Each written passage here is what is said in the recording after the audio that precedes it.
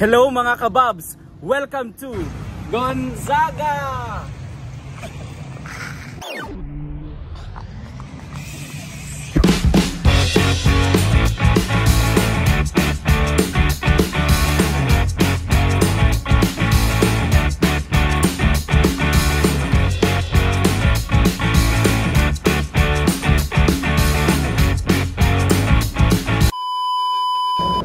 So nga guys, pupuntahan natin ang isa sa kilala at dinarayong beach dito sa Gonzaga, ang Matara Beach. Re-reviewin lang natin yung beach, yung services nila, yung amenities nila at kung anong meron sa beach na to, kung bakit dinarayo. So, stay put and panoorin nyo hanggang dulo guys. Tara!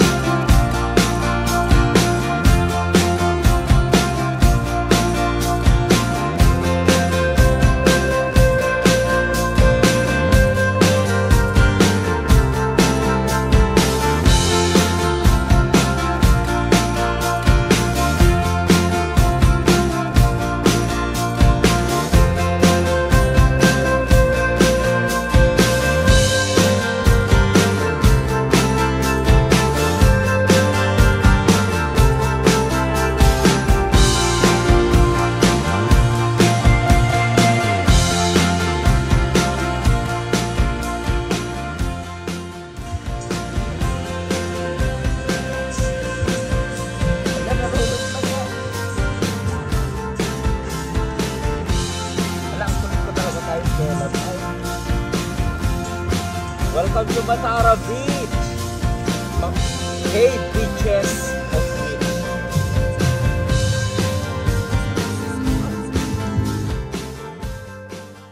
Hello guys, andito na tayo sa Matara Beach. Ayan, hindi na ako naka-video kahapon kasi gabi na kami nakarating or gabi na ako nakarating. Uh, pero ito guys, makikita nyo ang bungad ng umaga.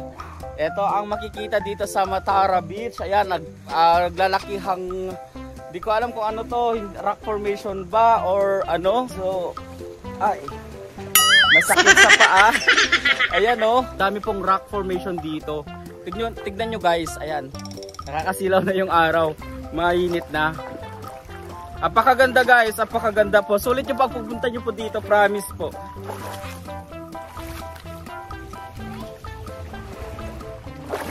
Ayan. Uy. Madulas kasi yung Madulas yung chinelas ko. Ay. Sa mga gusto mag-post sa kanilang IG, uh, Facebook, uh, Twitter, Instagram, ayan. Ito po Insta Insta ah, Instagramable po ang place na to. Ayan. Hindi ko alam kung ano tong mga to, pero uh, apakaganda po. Aray, ang sakit. Wait lang. ang sakit ng paa. Masakit ang paa guys, pag pumunta po kayo dito, gumamit po kayo ng sleep, uh, chinelas, mag-sleeper po kayo. May sleeper po ako pero madulas kasi to, pang pangbuhangin lang. Nadudulas, nadudulas to sa rocks. Ayan. O di guys, ang ganda? Ayan. Napakalawak na dagat. Ito lang naman ang makikita dito sa Matara, Matara Beach guys. So, So, sulit nyo, sulit yung pagpunta dito. So magbibigay ako ng review, honest review regarding regarding sa beach na to mamaya sa end ng aking or sa dulo ng aking video. So stay stay put guys. Kung gusto niyo pumunta dito, dapat yung malaman yung mga 'yon. So stay put.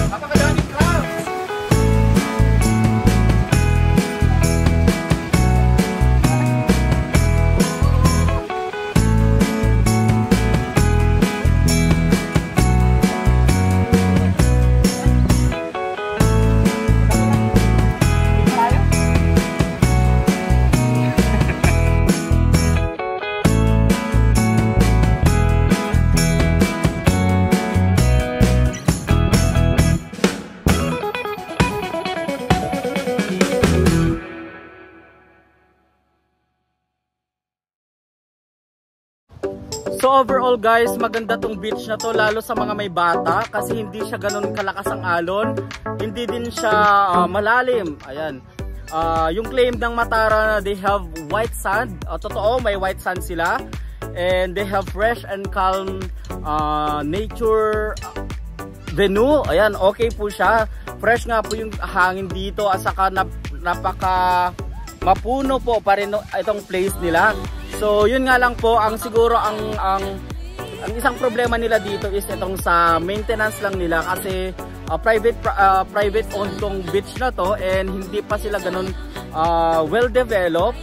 Pero kung i-rate natin tong tong beach na to 1 1 to 10, masasabi kong they are uh, number rate ko sila ng 7. 7 po siya.